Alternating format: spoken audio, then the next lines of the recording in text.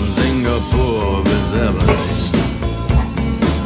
Wenn du mich fragst, wo es am schönsten war, sag ich Sansibar. War eine harte Überfahrt. Zehn Wochen nur das Deck geschrubbt. Hab die Welt verflucht, in den Wind gespuckt.